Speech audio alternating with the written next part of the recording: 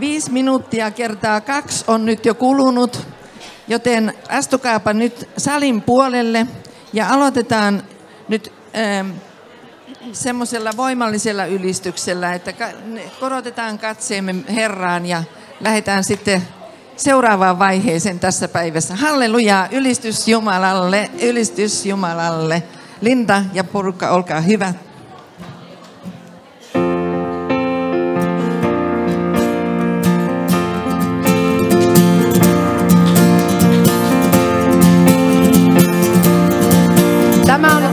Uusi päivä Suomelle laulu.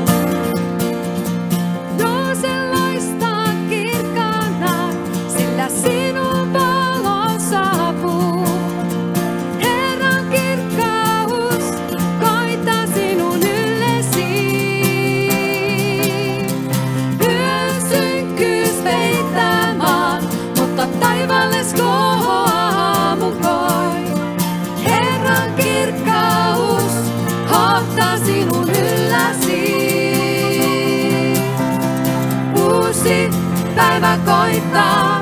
Päivä Suomelle, päivä kansoille, oh, uusi päivä koittaa. Päivä Suomelle, päivä kansoille, oh, uusi päivä koittaa. Päivä Suomelle, päivä kansoille, oh, uusi päivä koittaa.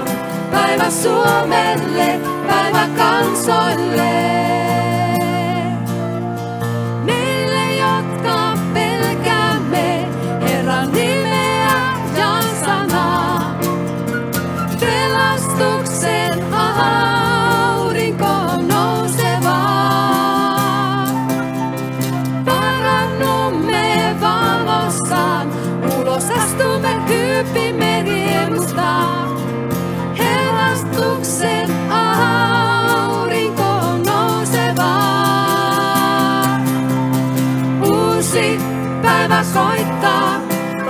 Suomelle, päivä kansoille, oh, uusi päivä koittaa.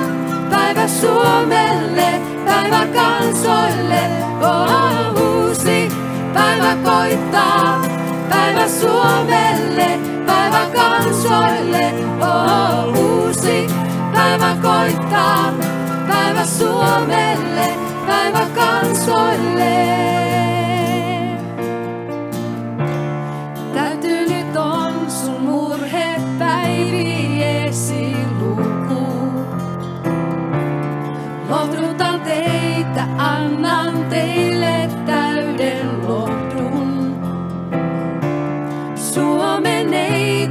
Tanssi jälleen pelkäämättä. Vapana kansana me nousemme ylistämään.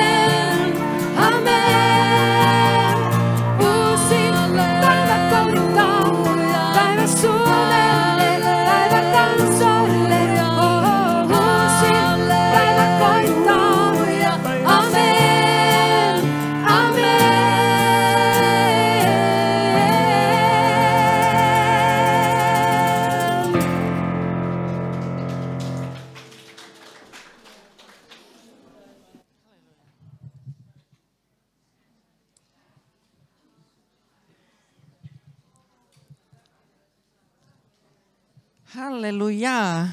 Kiitos Jumalalle taas tästä uudesta päivästä. Uusi päivä on koittanut jo tänään. Ja tästä päivästä me kiitetään Herraa ja kaikesta siitä, mitä hän on varannut meille tätä päivää varten. Aamen. Ja me käydään uskossa ja me käydään odotuksella ja syvällä Jumalan kunnioituksella tähän päivään. Niin, että hän saa puhua meidän sydämillemme sitä, mikä hänen sydämeltänsä nyt tulee. Koska Jumalalla, laita vähän kiinni sitä, kun mua paleltaa. Mä voin laittaa kyllä Suomen kesä.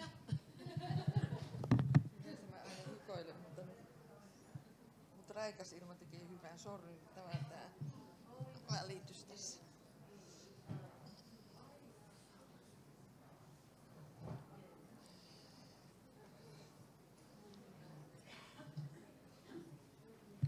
No niin, jatketaan. Mä haluaisin vielä palata tuohon tohon äärettömän koskettavaan videoon, mikä me nähtiin tuossa äsken. Ja, ja ihan haluaisin vielä jonkun sanan siitä sanoa. Se, se oli siis, mä, mä koin, kun mä kattelin sitä, että Jumala oli taas tarkka. Ei se kuulunut eiliseen iltaan, vaan se kuuluu tähän aamuun vaikka vihollinen yrittää estää meidän asioita ja sekoittaa meidän asioita, mutta Jumala on aina suurempi. Kun me luovutetaan ne hänelle, niin hän kääntää, kääntää ne voitoksi. Ihan niin kuin tuossa videossa oli, että vaikka oli niin hirvittävä tilanne eh, tällä pienellä tytöllä ja hänen elämässänsä, niin, niin kun hän luovutti ne asiat, kun hän kohtasi ne asiat, niin Jumala käänsi ne voimavaraksi hänen elämässänsä. Ja se, musta, musta tuntuu, että tämä video oli oikein semmoinen niin kuin esipuhe mun opetukseen. Jumala on ihmeellinen. Ihan semmoinen, koska eh, siinä oli justiin semmoinen sisäisen parantumisen sanoman ydin. Se, että miten paljon meillä on täällä kätkettynä niitä kipeitä asioita. Vaikka meillä ei olisi niin kipeitä ja vaikeita asioita kuin tällä ihmisellä oli, mutta meillä on monilla kipeitä muistoja sieltä menneisyydestä, mutta me ollaan haudattu ne tänne sisimpään. Ja me ollaan löyty kansi kiinni, niin kuin Vuokko opettaa semmoisesta talosta ja kellarista, eh, missä me olohuoneessa me eletään tätä päivää mutta sinne kellariin on painunut paljon kipeitä asioita. Ja, ja pannaan tiiviisti kansi päälle siihen kellarin luukun al, päälle. Ja ehkä laitetaan matto siihen päälle vielä, ettei, ettei siellä niin mitään kellaria oliskaan ja vielä pöytä siihen päälle, että, että ei vielä mattoakaan saa siirrettyä siitä pois. Että miten monta kertaa me ollaan ne kipumme kätketty tänne meidän sisäiseen maailmaan. Ja sitten ne vaikuttaa siellä, sitten ne lannistaa meitä, sitten ne masentaa siellä. Ja ne kulkee meidän mukana ja Jumalan virrat tukkiutuu meidän elämässä.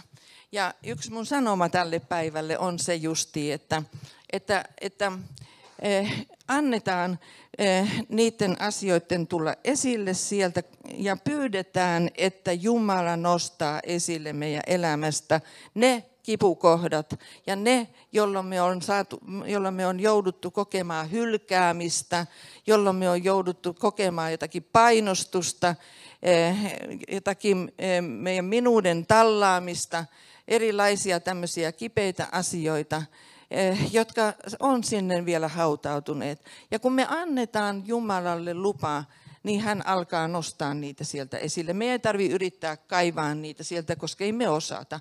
Sitten me tehdään siitä vain joku oppia, tämmöinen näin. Mutta kun me annetaan Jumalalle lupaa, niin, niin, eh, niin, kuin, eh, niin kuin Jeesus kysyy, tahdotko tulla terveeksi? Mitä sinä tahdot, että minä sinulle tekisin? Jeesus aina kysyy meiltä, tahdotko sinä? Tahdotko, että mä tartun sun elämää? Tahdotko, että mä alan nostaa niitä kipuja sieltä pintaa? Jumala kysyi multa aikoinaan, tahdotko? Tahdotko, että lähdetään yhdessä käymään sun menneisyytes läpi?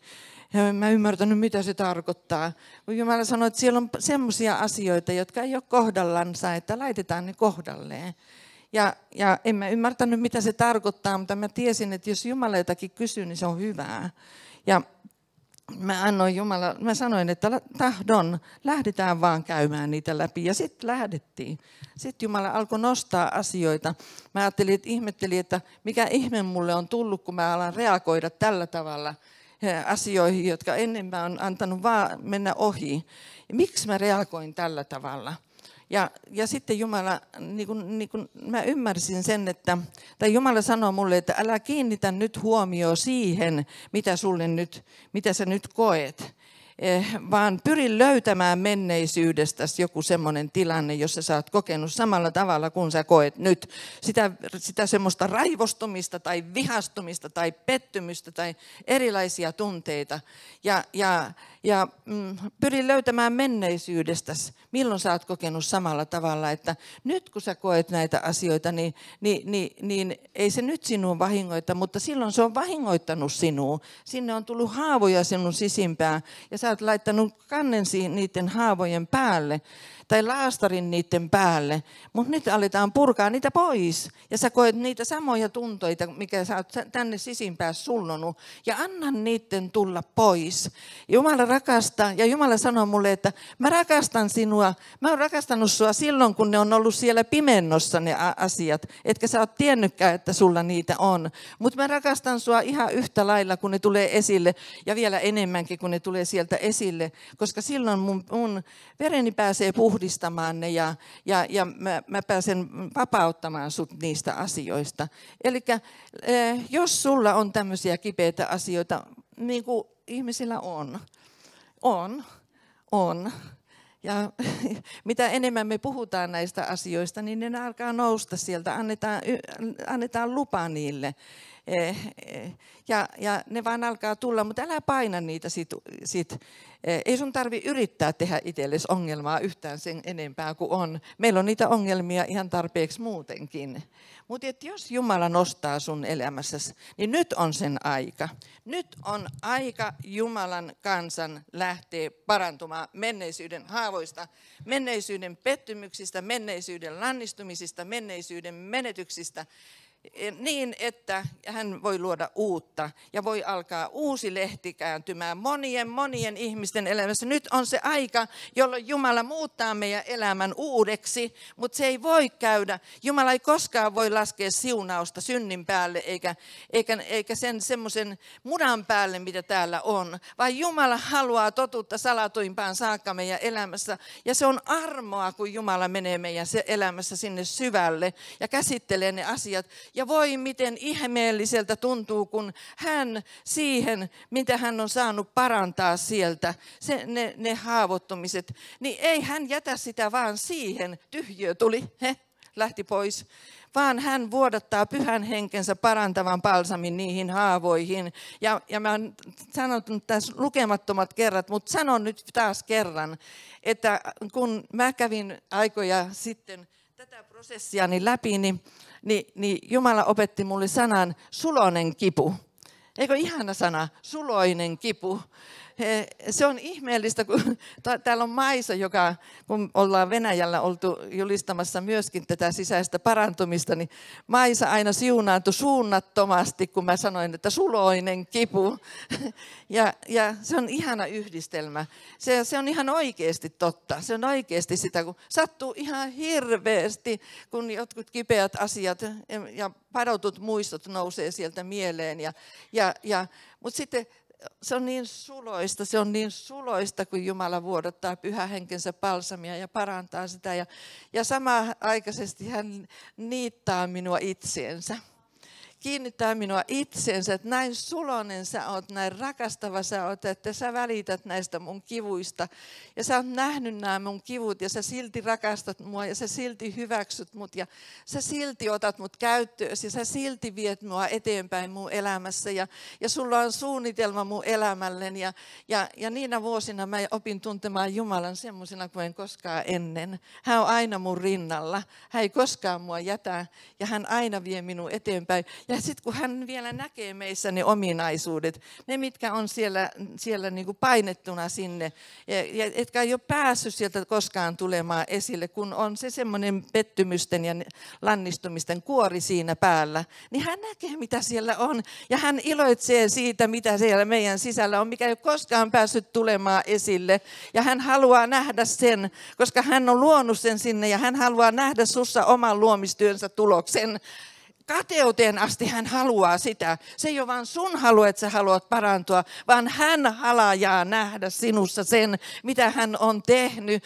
Voi että, voi että, miten erilaisena Jumala näkee meidän monet täällä nyt, kun hän näkee sen, sen mikä nyt on meillä vielä näkymättömissä. Ja hän halajaa, halajaa, että se tulee esille sinusta. Ja hän halajaa nostaa, parantaa sinut kaikista menneisyyden haavoittumisista, pettymyksistä, ruhjeista ja, ja murskaamisista ja mitä kaikkea meillä voi olla.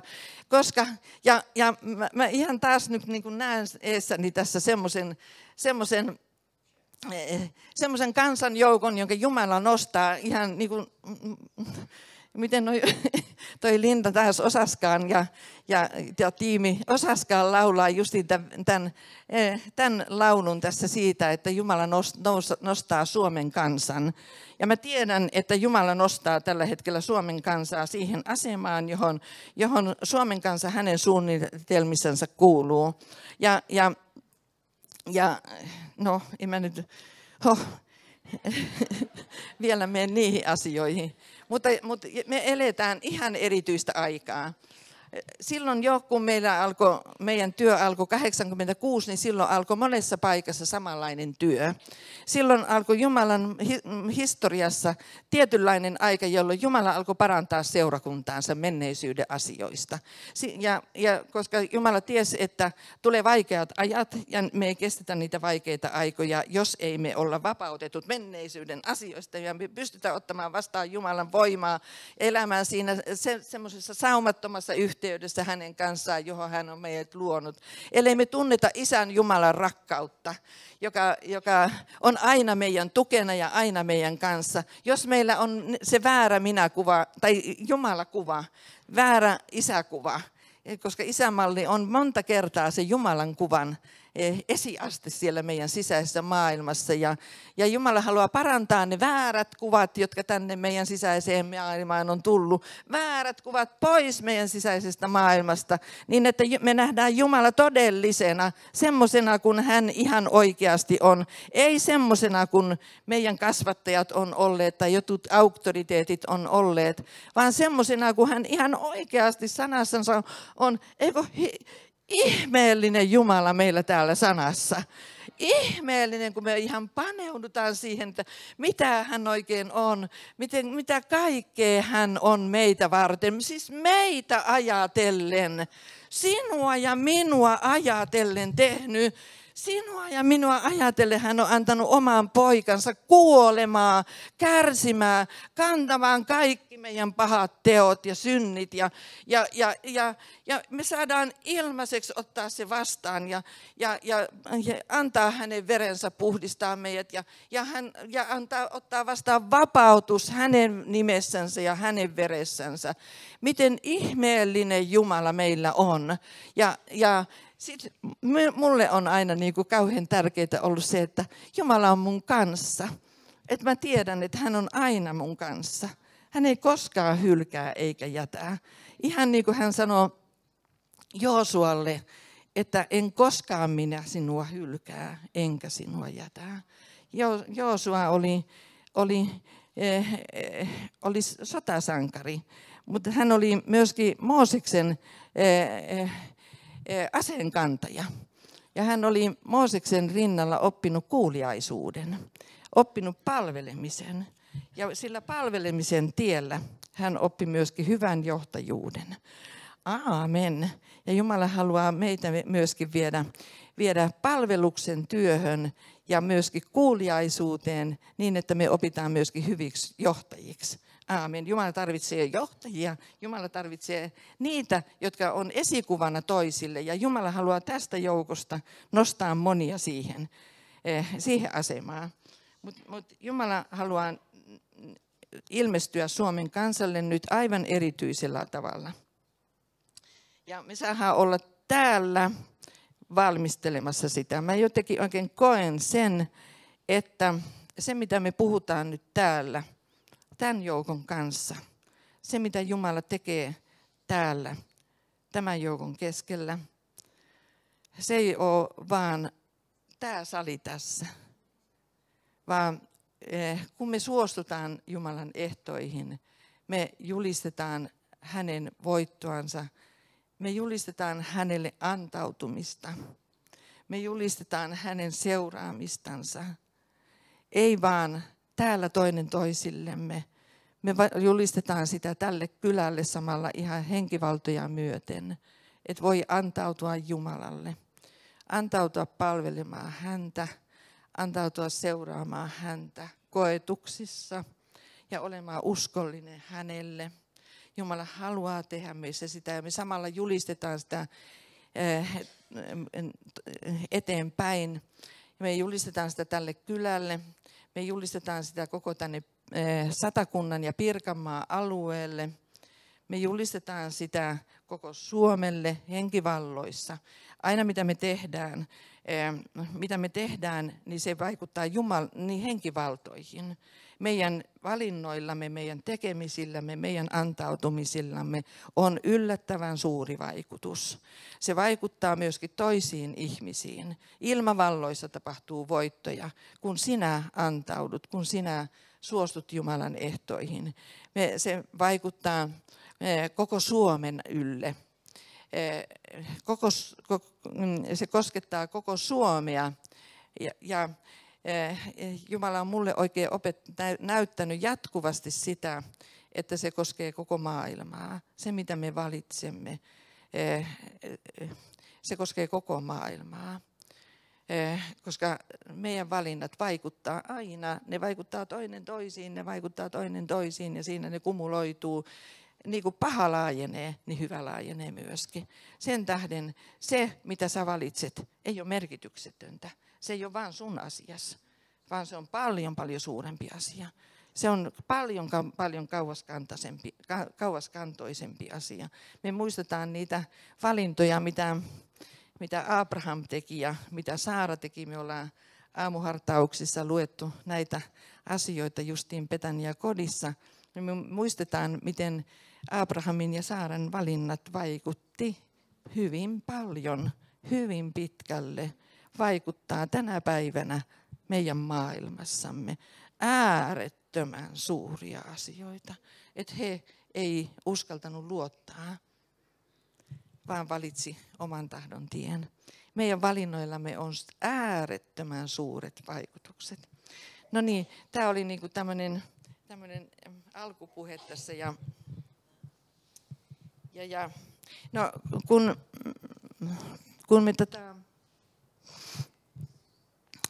Eh, tultiin tuolta Kolarin konferenssista, joka oli, oli äärettömän koskettava konferenssi ja merkityksellinen konferenssi. Ja, ja siellä oli semmoinen Jumalan pyhyys, valtava Jumalan pyhyys läsnä ja Jumala vaikutti siellä suuria asioita ihmisten sydämissä. Ja, ja mä itse tai, ja, ja siellä oli niin se semmoinen sanoma oli, että Jumala puhdistaa tänä aikana kansansa. Ja Jumala menee syvälle tänä aikana meidän elämässä. Ja mä jatkan vähän sillä samalla linjalla nyt edelleen tänäänkin, mutta vähän eri kantilta asioita käsitellen. Me eletään tosiaan semmoista aikaa, jolloin, jolloin me ollaan koetusten tulessa, kun Jumala ravistelee. Ja tämä on tosi asia. Ja tätä ei voi kukaan meistä väistää, koska me eletään Jumalan maailmassa sitä aikaa, jolloin jokainen koetellaan. Jokainen, eh, jokainen, jokainen on siinä, siinä tulessa ja siinä tuulessa, kun Jumalan tuuli puhaltaa. Ja, ja, ja, mutta se on, eh, Jumala haluaa Eh, Jumala vaan haluaa sitä. Jumala vaan tekee sitä. Jumala vaan haluaa, haluaa, haluaa, että hän saa karistaa meistä pois kaiken, mikä jo hänestä lähtöisin olevaa. Monta kertaa me ei edes nähdä sitä, mutta Jumala näkee. Ja Jumala haluaisi sitä, että hän saa puhdistaa kansansa kaikesta, mikä ei ole hänen meihin asettamaa. Sen takia on niin tärkeää, että me suostutaan siihen. Ja me, mm, niin monet sanoo, monet uskovat sanoo, monet Jumalan pyhät sanoo, ja monet seurakunnat kokee sitä, ja, ja varmaan kaikki kokee sitä miten, miten niin kuin semmoinen, semmoinen koetuksen tuuli käy nyt. Ja ei ole kauan tästä aikaa, kun me saatiin sähköpostiin Petania-kodilta semmoinen, semmoinen profetia yhdeltä ihmiseltä niin kuin koskien meidän työtä, että, että Jumala koettelee teidän, te, teidän työtä ja teitä ja te joudutte semmoiseen suureen myllytykseen ja suuriin semmoisiin e, koetuksen ahjoihin ja teistä tuntuu, että tästä ei tule mitään, että tästä ei voida selvitä. Mutta sitten sanotaan, että te selviätte siitä ja laittakaa, tul, laittakaa korvatulpat vihollisen valheita vastaan. että vihollinen yrittää kaataa meitä erilaisilla valheilla. Eh, että et Jumala koettelee meitä, mutta vihollinen pyrkii sitomaan ja kaatamaan, kaatamaan meitä valheilla. Jumala ei kaada meitä, mutta Jumala koettelee meitä ja Jumala sitä kautta vahvistaa meitä, puhdistaa meitä, lujittaa meitä, mutta vihollinen yrittää kaataa. Ja silloin kun me ollaan Jumalan koetuksen tulissa ja tuulissa, niin, niin meidän on tärkeää erottaa se, mikä on Jumalasta – ja mikä on vihollisesta. Ja meidän ei tarvitse siihen suostua. Ja panna valheet kaikille vihollisen eh, juonille, tai panna, panna korvatulpat kaikille vihollisen valheille ja juonille ja, ja, ja eh, sulkea korvat siltä. Eh, niin kuin tämä ihminen sanoi meille, että laitakaa korvatulpat vihollisen valheita vastaan, niillä ei ole mitään voimaa vaan te menette eteenpäin Jumalan voimassa. Ja tämä on sanat meille kaikille tänä aikana. Mennään eteenpäin Jumalan voimassa, mutta annetaan sen puhdistavan tulen käydä meidän läpi.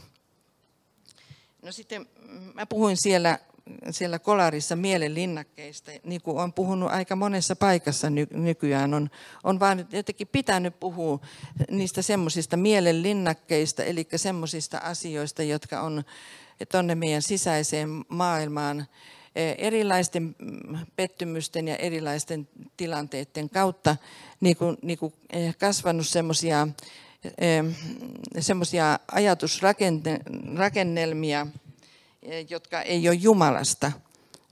En nyt siihen mene tällä kertaa pitemmälle, mutta korintolaiskirjeessä niistä, siitä puhutaan voin sen vielä täältä lukasta. Lukasta, ettei se jää vaan nyt mun sanomiseksi. Niin toinen korintolaiskirje. Jokainen varustus, joka on nostettu Jumalan tuntevista vastaan.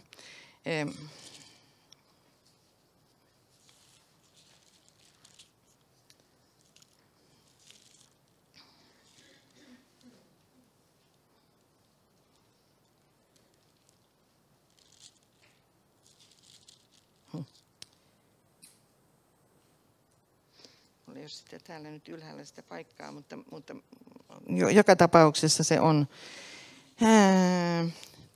toisessa korintolaiskirjeessä. Eli, eli ne, se, me hajotamme maahan jokaisen ajatuksen, joka on nostettu Jumalan tuntemista vastaan ja kaikki semmoiset mielenlinnoitukset, jotka siellä meidän sisäisessä maailmassa on, jotka on tullut erilaisten, erilaisten tilanteiden kautta ja jotka voi tulla olla ihan jo lapsuudesta asti meidän elämässämme olleita ja jotka voi kulkea meidän suvussa ihan semmoisia semmoisia ajatuksia, tämmöisiä e, esimerkiksi häpeä voi olla semmoinen, e, tai, tai, tai tämmöinen kapina voi olla semmoinen, tai, tai hylkääminen voi olla semmoinen. Eli erilaisissa tilanteissa niin meidän aivoihin kasvaa semmoinen hiuksen hieno ura. Hius, semmoinen, semmoinen pieni pieni ura ja, ja kun me toistetaan sitä ajatusta useampia kertoja, niin, niin se aina vahvistuu, se vahvistuu ja sitten siitä syntyy semmoinen tapa ajatella. Ja, ja siitä sen syntyy, ja, ja me ollaan niin kuin vangittuna siihen ajatusmalliin. Kiitos kun etit sen sieltä. Toinen korintalaiskirja, se on kymmenes luku. Mä olin ihan vieressä siinä. Jo. Neljästä viiteen.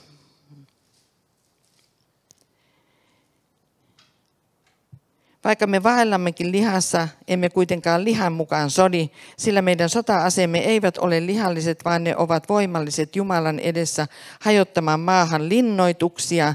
Me hajotamme maahan järjen päätelmät ja jokaisen varustuksen, joka nostetaan Jumalan tuntemista vastaan.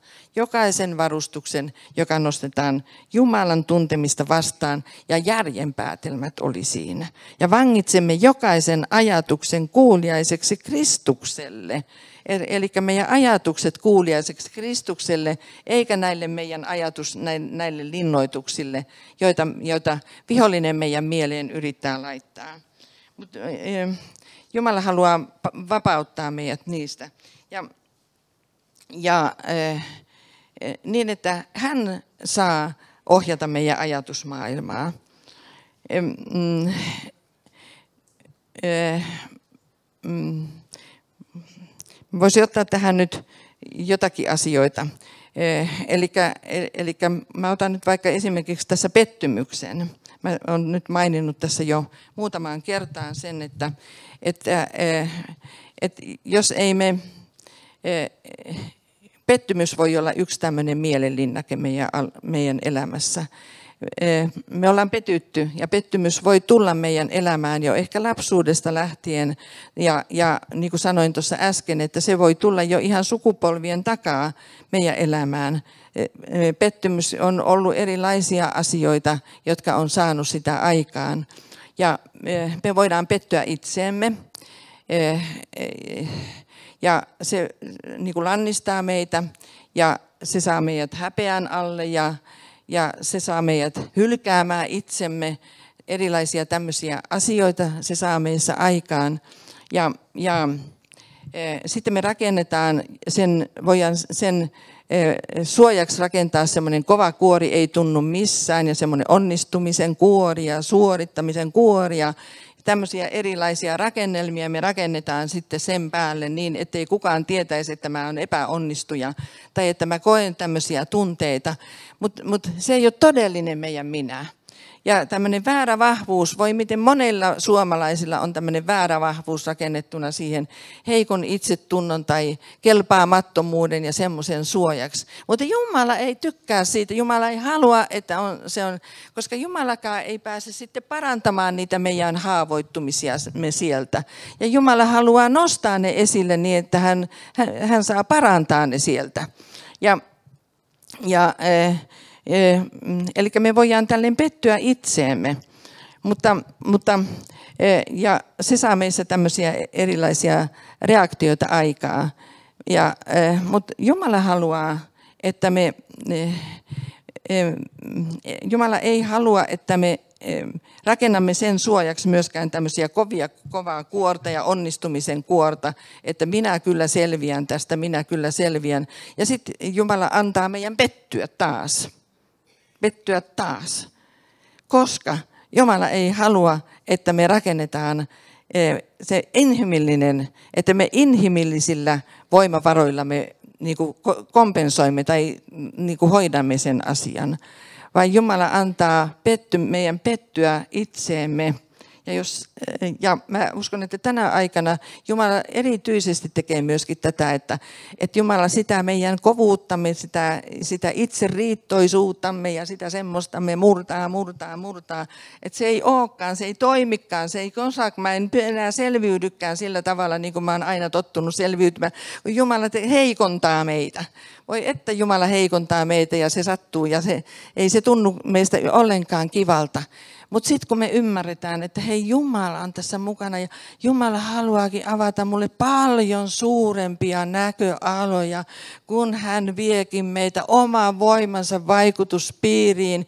Ja me aletaan tajuta se, että Herra, sähän voit, kun mä luovutan asiani sulle, niin sähän voit tehdä monin verroin enemmän kuin mitä mä oon voinut ajatellakaan ja ymmärtääkään, koska Jumalan voima on monin verroin suurempi ja, ja, ja, ja Jumala joutuu joskus ihan niin kuin pakottamaan meitä siihen, että etkö sä nyt jo luovuttaisi, että minä voisin astua sinun elämääsi. Ja miten monien mahdollisuuksien ohi me saatetaan kulkea sen tähden, että mä vaan pidän kiinni siitä mun järjen päätelmistäni, että ei voi en minä voi semmoiseen ryhtyä.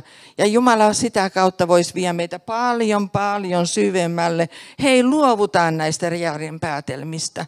Luovutaan siitä, että me itse niin kuin halutaan ohjata turvallisesti meidän elämää. Me pidetään kiinni erilaisista asioista, ettei, ettei mitään, mikään vaan niin kuin siitä meidän rakennelmasta järkkyisi. Mutta kun Jumala järkyttää sen, jos ei se ole hänen rakentamansa, ja antaa sen järkkyä, niin, että me uskalletaan pudota Jumalan suuriin käsiin, koska muuten me ei opita koskaan tuntemaan Jumalan yliluonnollisia mahdollisuuksia. Ja nyt me eletään tätä aikaa, jolloin Jumala haluaa, että me, me mennään hänen varansa, koska Jumala on te- tekemässä niin suuria asioita, että meidän pieni ymmärrys ei niihin riitä, meidän pienet voimavarat ei niihin riitä. Ja Jumala on, on suurentamassa meidän alueita ja meidän pitää uskaltaa hypätä hänen varansa varansa ja niin kuin oppia näkemään, että se kantaa, se kantaa, se kantaa. Jumala haluaa vapauttaa meidät peloista. Jumala haluaa vapauttaa meidät epäonnistumisen pelosta. Jeesuksen nimessä. Niin että, et, ja sitten myöskin semmoisesta hätäilystä ja kiireestä. E, minua on puhutellut kovasti se Abrahamin ja Saaran tapaus. Silleen, että voi jos niillä olisi ollut kärsivällisyyttä odottaa vielä 13 vuotta, niin niiden ei olisi tarvinnut, meidänkään koko maailman ei olisi tarvinnut kokea ainakaan sen synnin seurausta ja, ja niin kuin tänäkin päivänä. Mutta mut se meidän omassa pienessä elämässämme myöskin, että, että voi miten helposti tulee se semmoinen, että eh, Jumala ei ole vastannut mun rukouksiin. Pitäisiköhän mun nyt itse ryhtyä tässä jotakin tekemään? Ja sitten me ryhdytään tekemään.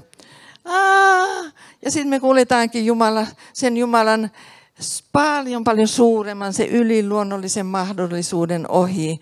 Ja me ei nähdäkään sitä, kuinka Jumala yliluonnollisesti johtaa meidät. Ja, ja tämä on mulle ollut semmoinen kova koulu. Mä oon aika semmoinen tämmöinen näin. Mutta mut kun Jumala vaan ravistelee sitä ja, ja sitten on, on jotenkin niin ihmeellisen suloista ja ihmeellisen ihanaa nähdä, kun Jumala yhtäkkiä vaan tarttukin asiaan minusta riippumatta. Hän vaan hoiti sen asian. Hän vaan haluaa hoitaa meidän asioita. Ja me saadaan levätä ja, ja, ja pudotetaan pois ne suorittamiset. Pudotetaan pois. Jumala haluaa, haluaa vapauttaa meitä vääristä längistä. Paljon on vääriä länkiä. Paljon on semmoista suorittamista. Ja, Mutta Jumala haluaa vapauttaa meidät siitä niin, että tuo suunnattoman suuri voima eh, ei näyttäisi tulevan meistä, vaan että se olisi Jumalan. Että Jumalalle tulee kunnia ja me saadaan olla itse levossa ja rauhassa. Ja on meillä tälläkin viikolla ollut melkoisia koetuksia, mutta sitten me ollaan vaan aina luotettu siihen, että oi Herra, sä annat avun ja sä annat avun. Ja me ollaan saatu kokea ihan valtavia semmoisia Jumalan antamia apuja. Ja niin kuin me saadaan, kun me luovutetaan hänelle, niin kuin me saadaan, hei, luotetaan Jumalaa, uskotaan häneen mä en niin kuin voi olla puhumatta tästä, kun mä tiedän, että, että, että Jumalan sydän janoaa, eh, Jumalan sydän janoaa eh, sitä, että me luotetaan hänen kuin lapsi-isänsä.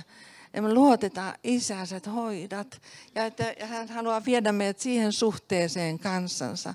Että isä, sä pidät aina musta kiinni ja sä et koskaan mua hylkää, et koskaan mua jätä. Sä aina viet mua eteenpäin ja sä aina annat mulle parastasi. Kiitos Isä siitä, että sä annat meille parasta. Ja vaikka nyt tuntuisi siltä, että, että on semmoiset myrskyt meneillään, että missä tässä nyt se paras, Jumalan paras on. Mutta Jumala valvoo sun elämääsi. Jumala valvoo meidän elämää. Annetaan hänen pysäyttää meidät se pysäyttäminen on monta kertaa niin vaikeaa, että me voidaan luopua. Ja, ja, ja sitten annetaan hänelle myöskin lupa, että hän saa nostaa meidän elämästä esille niitä tukkoja, niitä asioita, jotka on esteenä siellä. Että hän saa nostaa niitä esille. Että Jeesus, nosta mun elämästä esille niitä tukkoja. Että ne tukot tulee pois, pettymykset tulee pois erilaiset päätökset, mitä me ollaan tehty, ehkä haavoittumisissa. Että me saadaan purkaa ne erilaiset päätökset. Me saadaan luovuttaa tilanteet. Me saadaan antaa anteeksi meitä haavoittaneille. Joo, hei, annetaan anteeksi meitä haavoittaneille. Vaikka kuinka olisi meille pahoin tehty ja eikä ole ymmärretty meitä oikein annetaan anteeksi, koska anteeksi antaminen vapauttaa meidät olemasta sidottu niihin ihmisiin, jotka on tehnyt meille väärin. Annetaan anteeksi, päästetään irti. Päästetään irti, jos meillä on kat- katkeruutta sydämessä. Äh, annetaan Jeesuksen veren puhdistaa ja, ja luovutetaan se asia hänelle, että no onko tämä nyt sen arvoinen asia. Ja kun me luovutetaan se hänelle, että Herra hoida tämä asia hoida sinä, mä en enää halua olla katkera. Puhdista sää mun mieleni niin, että sun virrat alkaa virtailla. Että mä luovun nyt tästä asenteesta niin, että asian pitäisi olla toisella tavalla ja mikset sää ja mikset sää. Että asiat, mä luovutan nämä asiat nyt sulle. Ja, niin, niin, me saadaan nähdä, että Jumala alkaa viedä asioita eteenpäin. Hän alkaa muuttaa annetaan itsemme, annetaan itsemme hänen muutettavaksensa, hänen muutettavaksensa, aamen. Mutta sitten me voidaan olla, me, olla tämä pettymys voi kohdistua toisiin ihmisiin. Eli, eli se voi kohdistua meihin itteemme, että me ei niin kuin täytettykään, me ei oltukaan semmoisia. Mutta, mutta niin kuin, Jumala haluaa niin kuin vapauttaa meidät siitä, niin kuin itsemme vankilasta, että me voidaan, mutta luovutetaan se hänelle. Mutta sitten me voidaan olla pettyneitä toisiin ihmisiin, jotka eh, on, ei ole toiminutkaan sillä tavalla, kun me ollaan odotettu heidän toimivan ja me ollaan odotettu heiltä jotakin semmoisia, joka ei heille kuulukaan.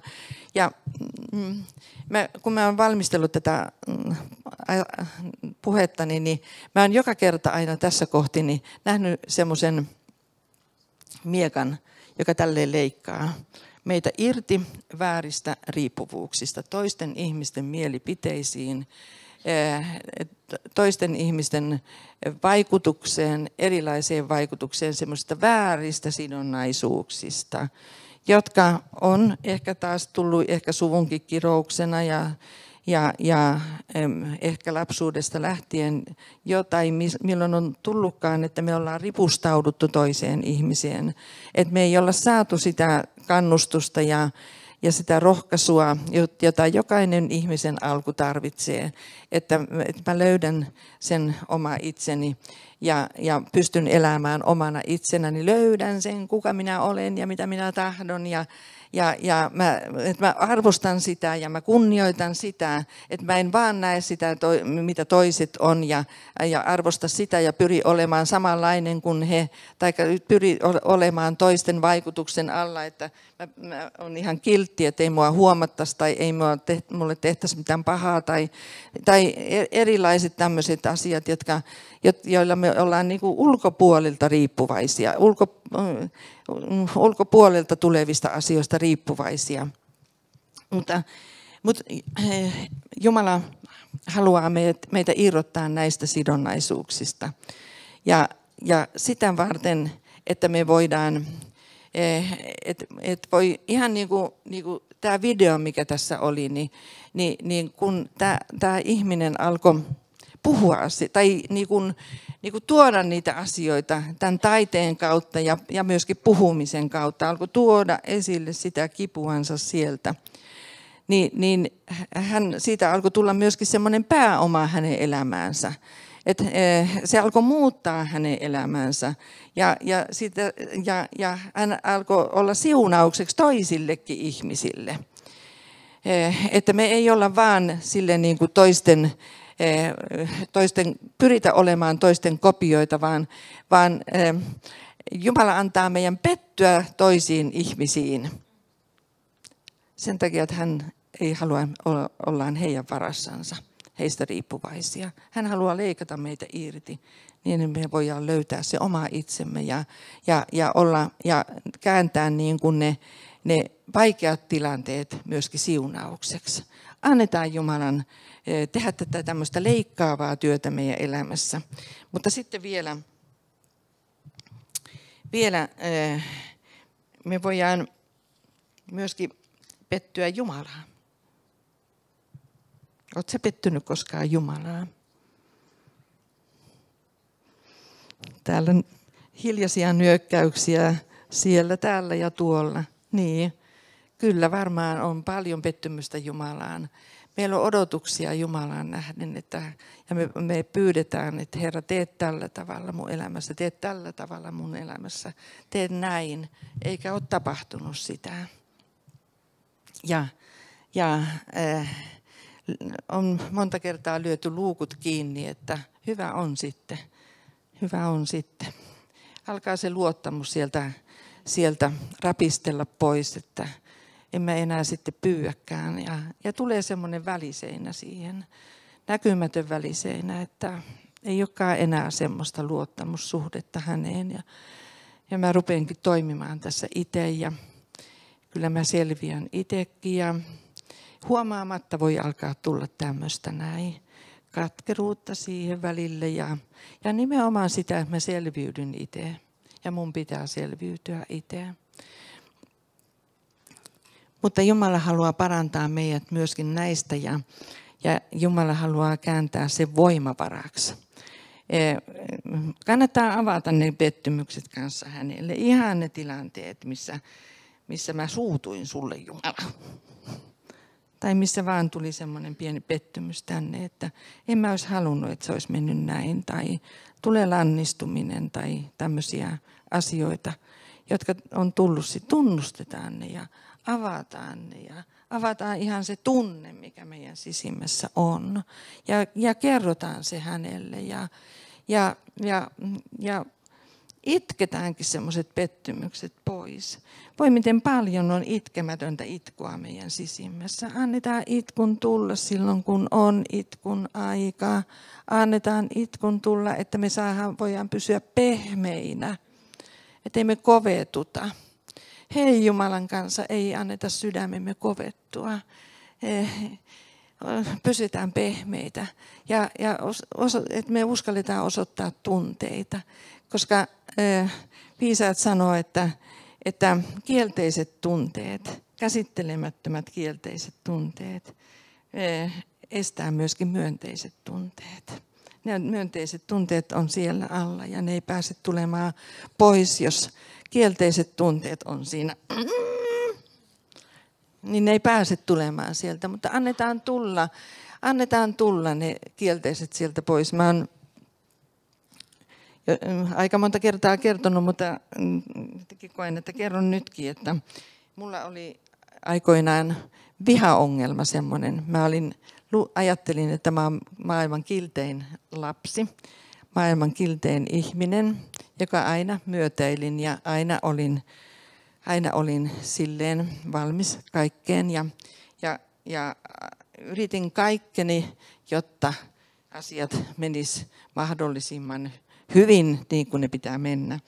Mutta sitten jossakin tilanteessa kävi, se oli ihan mun parantumisprosessin alussa, jolloin mä niin kuin opettelin näitä asioita, että miten Herra sä toimit mun kanssa tässä parantumisprosessissa, kun Jumala, mä olin Jumalan pyynnöstä lähtenyt, suostunut siihen prosessiin, niin, niin jossain tilanteessa mä yhtäkkiä reagoin just niin kuin mä ajattelin. Ja sanoin just niin kuin mä ajattelin ja koin. Mikään suojamekanismi ei pystynyt kerinnyt mennä päälle siihen, tai mikään seula ei kerinnyt mennä päälle siihen, kun mä sanoin just niin kuin mä ajattelin, ja just sillä tunteella, mikä mulla oli täällä. Ja tiedä, minullehan ei tehdä tällä tavalla, ja olkoon viimeinen kerta, kun sä sanoit mulle tolla tavalla. Mua ei käsitellä tällä tavalla, ja, ja, ja en, tiedä, en muista enää edes tilannetta, mikä se oli, mikä sen aiheutti, mutta mä muistan sen vaan, kun Mä maistelin sitä olon ja totesin, että tuntupas hyvältä. Ja mä, mä niin kuin ajattelin, että mä olin ensimmäisen kerran elämässäni täysin rehellinen. Mä sanoin just niin kuin mä koin. Mä en kaunistellut yhtään. Mä en sanonut eh, niin kuin mun olisi kuulunut sanoa, vaan mä sanoin just niin kuin mä koin. Ja mä olin rehellinen. Mä olin rehellinen. Se, se asia käsiteltiin sitten kyllä sen ihmisen kanssa, mutta, mutta Jumala näytti mulle kuvan, että mä olin aina tottunut tekemään tälleen näin, että kun joku tunne, semmoinen, eh, mä, mä olin meidän perheen nuorin lapsi, niin kuin täällä on jotakin muitakin semmoisia, niin, niin, niin mulla oli semmoinen eh, niin kuin tilanne, että, että mm, eh, minun vähän höynäytettiin aina mun jollain mun synttäreillä mun veli, joka on muutaman vuoden vanhempi, niin sanoi, että hän muistaa Marjasta pari asiaa lapsena, että, että kun ei se ymmärtänyt mistään asioista mitään, niin me aina höynäytettiin sitä. Ja kun leikittiin jotakin niin yhdessä, niin, niin mut aina jätettiin sitten viimeiseksi, kun ei mä ymmärtänyt mitään. Mutta se, se oli niin kuin jäänyt tänne sillä tavalla, että et, et, semmoinen, että ja aina mulle tehdään väärin, aina mulle tehdään väärin ja pitää aina puolustautua. Tämmöisiä systeemejä, niitä linnakkeita voi jäädä sinne meidän elämään ihan sieltä lapsuudesta lähtien tämmöisten ei niin kauhean suurien asioiden takia, mutta kuitenkin meille suurien asioiden takia. Ja sitten toinen asia oli, minkä mun veli sanoi, että mikä hän muisti musta lapsuudesta, että mä olin aina paras koulussa. Ja mä yhtäkkiä itse niin kuin näin yhtälön siinä näiden asioiden välillä. Et se, ja muahan ei höynäytetä.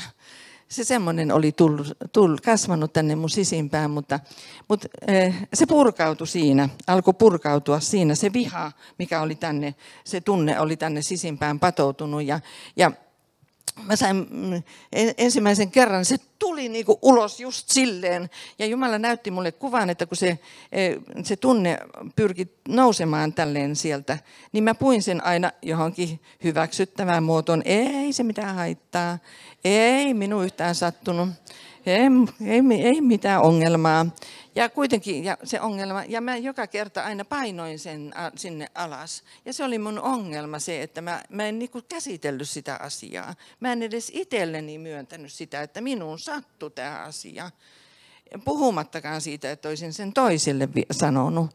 Mutta mut, se oli, mulla oli jäänyt paljon tänne semmoista käsittelemätöntä ja, ja kuinka paljon meillä on jäänyt sinne semmoista käsittelemätöntä. Ja sitten muutaman kerran vielä, niin niin, niin se sama, sama niin kuin toistui silleen, että joku tilanne vaan herätti mussa sen. sen ja, mutta sitten mä tiesin jo, mitä mun piti tehdä, että mä menin johonkin yksikseni, että mä en ketään nyrkillä lyönyt tai muuta semmoista tehnyt, vaan, vaan enkä niin kuin haavoittanut. Et mä menin vaan yksikseni ja sanoin, että Jumala, että nyt sattuu niin kovasti, että ota sä ota sä nyt vastaan tämä mun mur, mur, mur, mur, mur, mur, tämä mun tunteeni, että ota vastaan tämä, ota vastaan tämä, ota vastaan tämä. Ja, ja musta oli jotenkin niin ihanaa, että Jumala kestää meidän tunteet. Jumala kestää meidän tunteiden purkaukset, koska hän rakastaa meitä silloinkin, kun meillä on niitä täällä, kun me halutaan vapautua niistä. Ja hän haluaa nähdä, mitä meidän siellä sisällä on. Mutta sitten tuli semmoinen aika, jolloin Jumala sanoi, että tai jolloin niin kuin kävi sille tavalla, että mä taas aloin niin kuin toimia samalla tavalla. Mutta sitten mä huomasin, että hei semmoinen, niin niinku purkaa se, niinku semmoista vihan tunnetta. Ja jonkun seurauksena.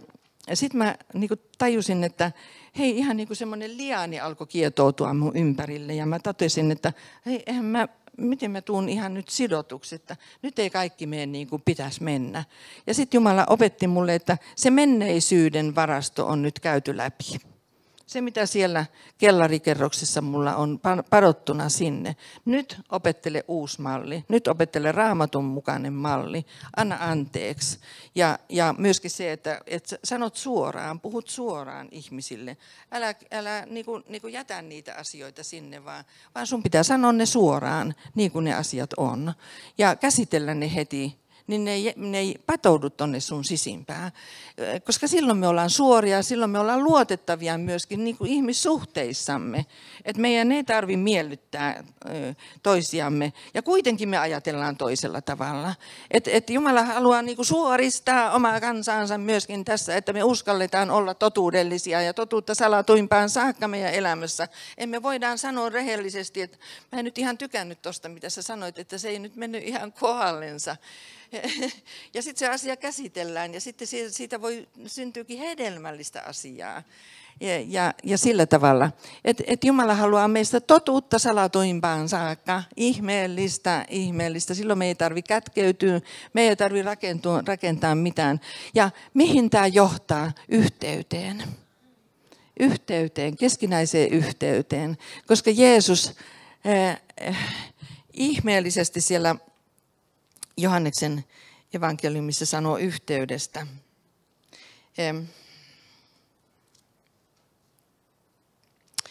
Mutta en minä rukoile ainoastaan näiden edestä, vaan myös niiden edestä, jotka meidän, heidän sanansa kautta uskovat minuun. Että he kaikki olisivat yhtä, niin kuin sinä, Isä, olet minussa ja minä sinussa. Että hekin meissä olisivat, niin että maailma uskoisi, että sinä olet minut lähettänyt. Että maailma uskoisi sen tähden, että mm, isä, isä, sinä isä olet minussa Jeesuksessa ja minä sinussa, että hekin meissä olisivat, että sen seurauksena maailma uskoisi, että sinä olet minut lähettänyt yhteys on valtava vaikutus. Ja sen kirkkauden, jonka sinä minulle annoit, minä olen antanut heille, että he olisivat, että he olisivat yhtä. Ensiksi yhteyt Jumalan kanssa, saumaton yhteys hänen kanssa, mutta sen jälkeen, että he yhtä olisivat, yhtä olisivat, yhtä olisivat, yhtä olisivat. Ei semmoista teeskenneltyä yhteyttä, vaan yhtä olisivat, yhtä olisivat, että me pystyttäisiin ne padot täältä eh, niin kuin tuomaan ulos, että Jumala saa meidät hoitaa niistä ja käsitellä niitä.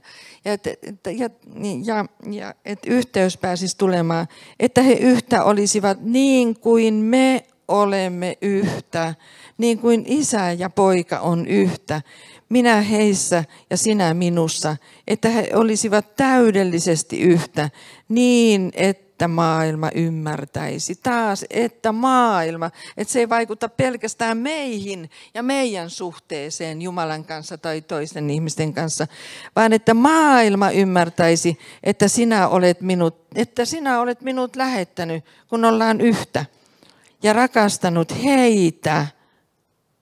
Niin, että sinä olet rakastanut heitä niin kuin sinä olet rakastanut minua. Ja vielä en malta olla lukematta. Isä, minä tahdon, äh, Jeesus tahtoo, että missä minä olen, siellä nekin, jotka sinä olet minulle antanut, olisivat minun kanssani, olisivat minun kanssani. Jeesus janoaa, että me oltaisiin hänen kansansa siellä, missä hän on. Ja he näkisivät minun kirkkauteni. Ja me ollaan käymässä tätä aikaa kohti, jolloin Jumala poistaa näitä erottavia väliseiniä meidän väliltä ja hänen ja meidän väliltä, niin että me voitaisiin nähdä hänen kirkkautensa. Ja hänen kirkkautensa voi toimia meidän elämässä. Että he näkisivät näkivät minun kirkkauteni, eh, jonka sinä olet minulle antanut, jonka isä on antanut pojalle, koska olet rakastanut minua jo ennen maailman perustamista. Jo ennen maailman perustamista. Minusta on ihana siellä eh, Jeremian kirjan alussa, kun siellä Jeremia eh, tai hänelle sanotaan, että jo ennen kuin sinä synnyit äidin kohdusta, tunsin minä sinut. Minä tunsin sinut jo ennen. Eh, ja, ja, eh, eli eh, silloin jo hän rakasti, tunsi ja tiesi, mitä Jeremia on. Hän niin näki sen Jeremian todellisen persoonan ja sitten hän tiesi myöskin sen, että mitä siitä pitää karsia pois, mikä ei ole sitä enää sen jälkeen. Et Jumala on nähnyt meidät jo, jo meidän idussamme ja hän myöskin silloin jo erotti Jeremian. Mä otan sen hei täältä. Jeremia ensimmäisestä luvusta.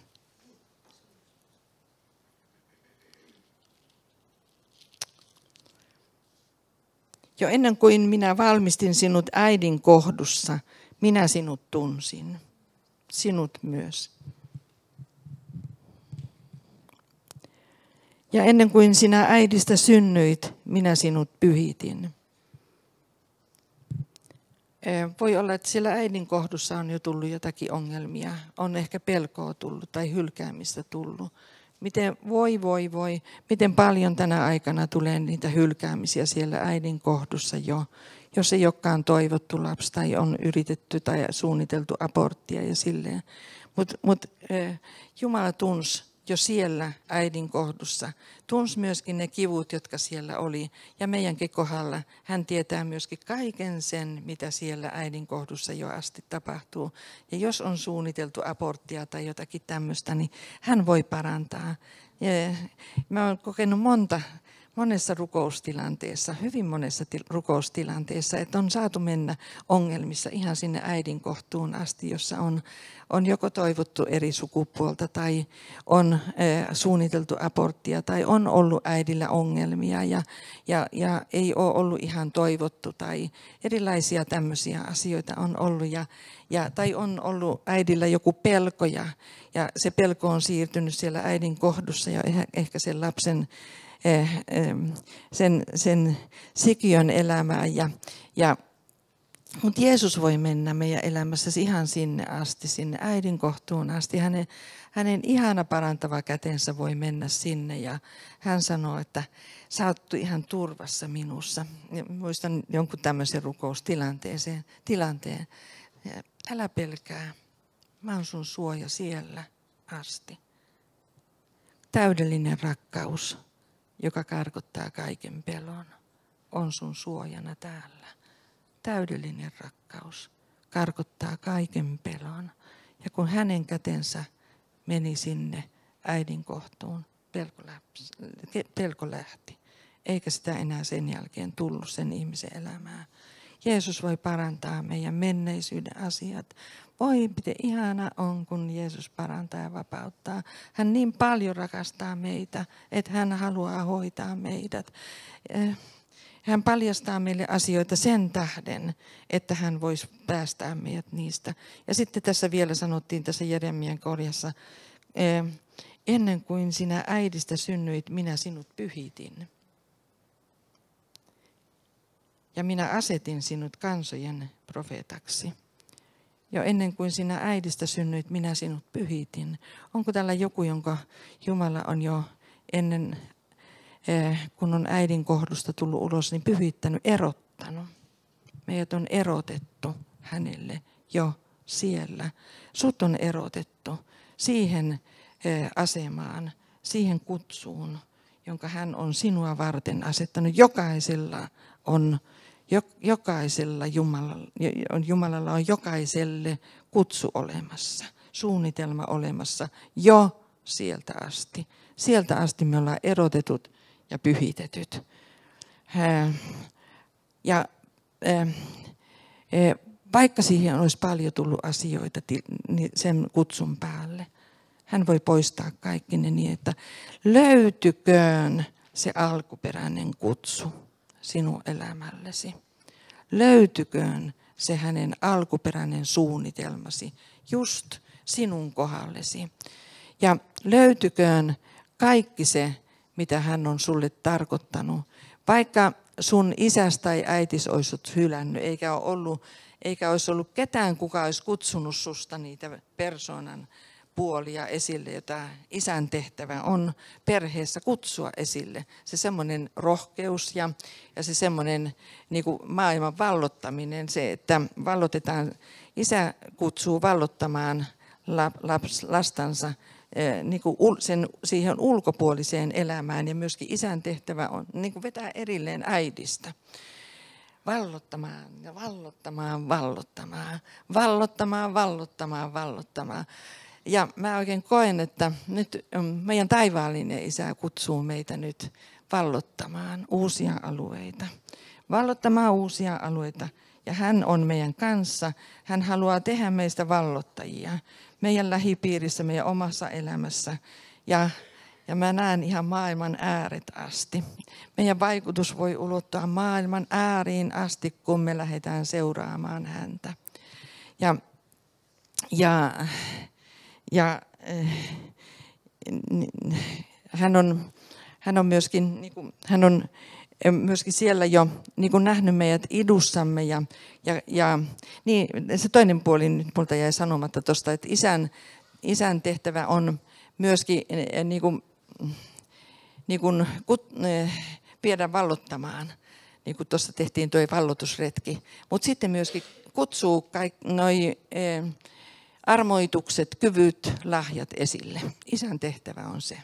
Kun isä sanoo sille pienelle tytölle tai pojalle, että voi että toi meni hyvin, kun sä teit sen. Kyllä meni hienosti. Sillä on ihan erilainen vaikutus kuin sillä, jos äiti sanoisi sen. Äiti sanoo sen ihan erilaisella lempeydellä ja, ja semmoisella armahtavaisuudella, mutta isä sanoo sen jämäkkyydellä. Ja silloin silloin merkitystä. Isä sanoo mulle sillä tavalla. Joo, se on totta. Ja se menee ihan eri tavalla sinne pienen pojan ja tytön sydämeen. Ja annetaan, jos, meiltä ei, jos meillä on tämä jäänyt puuttumaan silloin aikoinansa, niin annetaan taivaallisen isän nyt sanoa sille meidän pienelle tytölle tai pojalle, että sä oot ihan hyvä, sä kelpaat. Voi miten hienosti meni toi sun asias. Ja mun taivaallinen isä on joutunut mua aika paljon rohkaisemaan ja sanon, hyvin meni Maria, vaikka vähän epäonnistuitkin. Hyvin meni, hyvin meni, on luja ja rohkea vaan. Eh, Jumala näkee meissä ne mahdollisuudet ja Jumala haluaa kaivaa ne mahdollisuudet meistä esille. Ei pelätä epäonnistumista. Voi miten monta kertaa meillä on se epäonnistumisen pelko. Nyt sanoudutaan hei porukalla irti epäonnistumisen pelosta.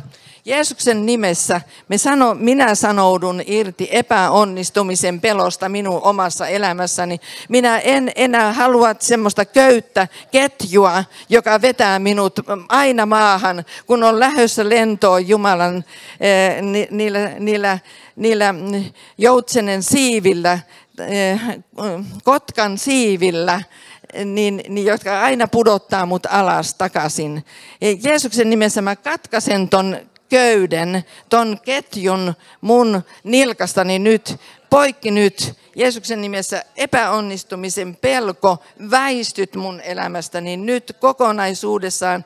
Ja kiitos Jeesus, että mä saan sun kanssa noussa sun korkeuksiisi ja apu minulle tulee ylhäältä, eh, taivaasta, Jumalalta, joka on luonut taivaan ja maan. Sä oot mun auttajani, sä oot mun johdattajani, sä oot mun kaikkeni. Kiitos Herra, että sä, sä rohkaiset meitä ja vahvistat meissä sitä sinun luomustasi ja myöskin sitä, että me, me luotetaan siihen sinun luomuksesi ja, ja, ja että me voidaan entistä enemmän ei vain luottaa itseemme, vaan, vaan mm, mennä vielä paljon pitemmälle ja, ja luovuttaa oma itsemme, heikkoutemme, puutteemme, eh, ja myöskin onnistumisemme sinun suuriin käsisi, koska sinä olet vielä monin, monin, monin verroin suurempi kuin me, kuin me ikinä niin kuin parannettuinakaan voidaan olla.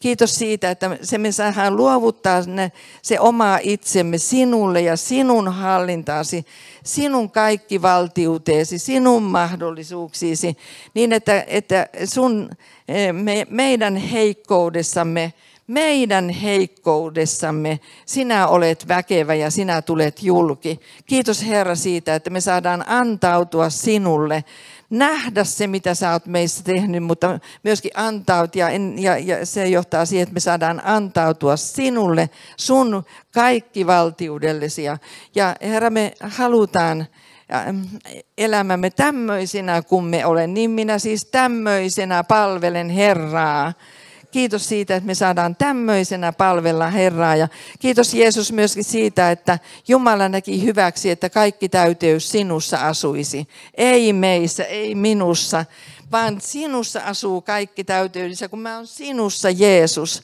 niin, niin kaikki minä voin hänessä, joka minua vahvistaa. Kiitos Jeesus siitä, että me saadaan antautua sun käsittelyyn, me saadaan antautua sun käyttöön. Ja kaikki kunnia tulkoon Herra sinulle, se ei kuulu meille enää, koska se ei ole me, jotka sen tehdään. Herra, Herra kiitos siitä, että mitä sä tässä joukossa haluat tehdä. Nostaa esille kaikki ne mahdollisuudet, jotka me saadaan, joiden kanssa me saadaan antautua sinun käyttöösi, sinun käsittelysi, niin että Jumalan valtakunta meidän kautta voi mennä eteenpäin sillä tavalla meidän itse kunkin osasen kohdalla, niin kuin sinä olet suunnitellut. Herra, kiitos, että siunaat tämän joukon väkevällä sun siunauksellas Jeesuksen nimessä. Jo, kiitos Jeesus, että me saadaan, rukoillaan vielä tässä lopussa ja, ja Eh, kiitos Jeesus, että, että me saadaan nyt, sä oot nähnyt kaiken, mitä meissä on. Ja, ja jos sä oot päässyt koskettamaan jotakin, niin kiitos, että me saadaan nyt luovuttaa elämämme sinulle. Sinä, Herra, olet se, joka olet meidät luonut ja lunastanut ja, ja omaksesi ottanut ja kaikki täyteys asuu sinussa.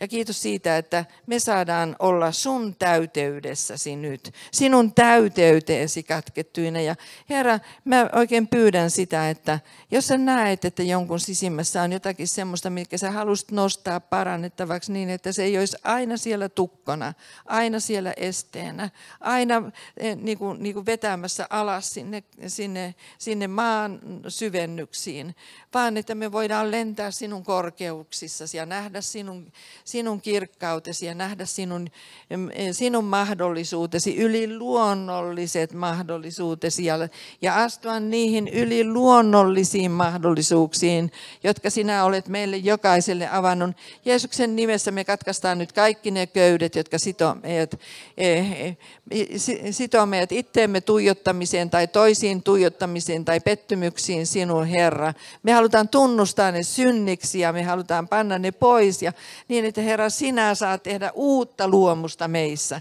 Jeesuksen nimessä se toteutukoon sun nimelle kunniaksi. Amen. Hallelujaa. Amen.